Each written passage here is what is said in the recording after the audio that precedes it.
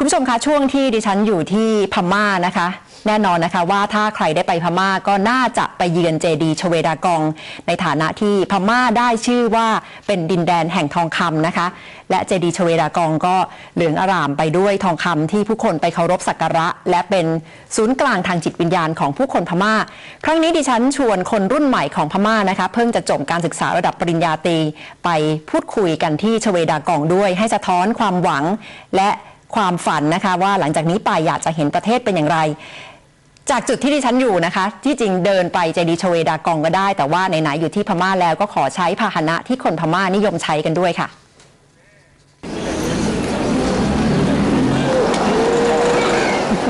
นิ่งกระบาสวัสดีจากที่นี่ย่างกุ้งค่ะ คุณผู้ชมคะถนนหนทางรถราที่ย่างกุ้งฝักไฟกันมากขึ้นนะคะ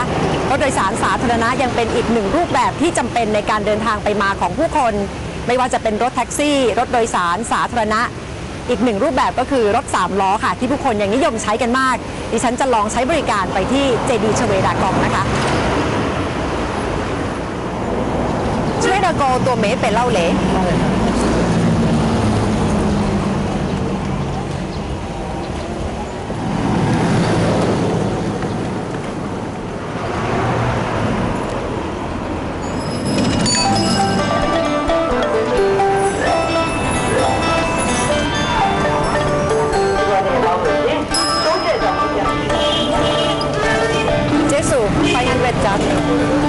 20 บาทนะคะ ถึงแล้วค่ะชเวดากอง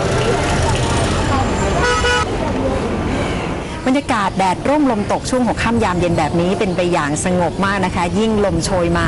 ผู้คนหลั่งไหลมาที่นี่กันไม่ขาดสายค่ะ ไม่ว่าจะเป็นคนพม่านักท่องเที่ยว นักท่องเที่ยวไทยก็มาที่นี่กันมากทีเดียวนะคะแต่สำหรับคนพม่าแล้วเจดีย์ชเวดากองมีความสำคัญอย่างมาก ในความเป็นศูนย์กลางชีวิต โดยเฉพาะด้านจิตวิญญาณของคนพม่าค่ะ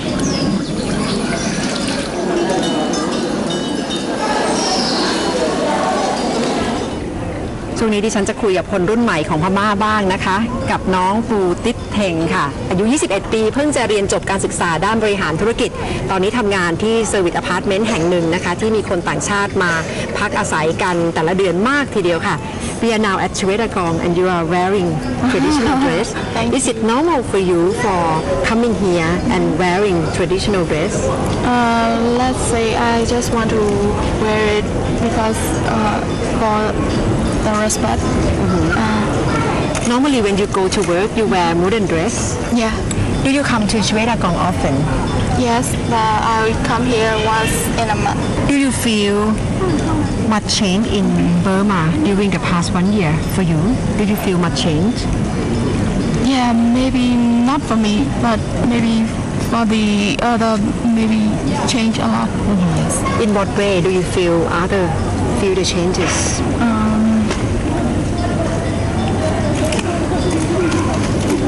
very improved, uh, improved, very improved in you know uh,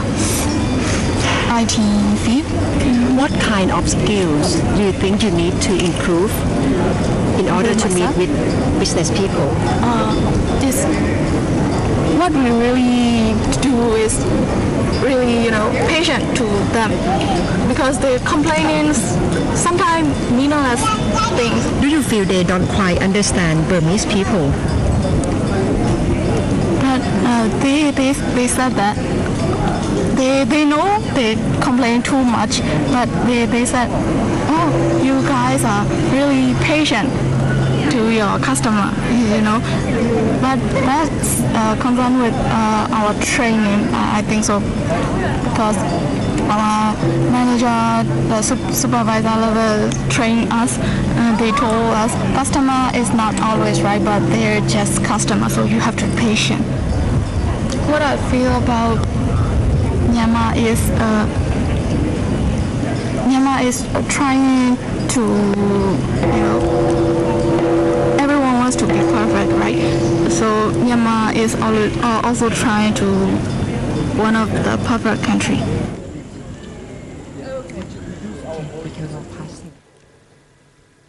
อีกหนึ่งเสียงยืนยันจากคนรุ่นใหม่ของพม่านะคะ ว่าขณะนี้คนพม่าจากข้างในประเทศกำลังพยายามกันจริง ๆ นะคะ เพื่อพยายามเปิดประเทศไปสู่ประชาธิปไตยค่ะ